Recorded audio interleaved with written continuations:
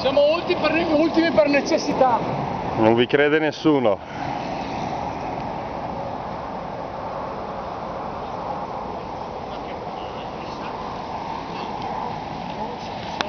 Fai la, la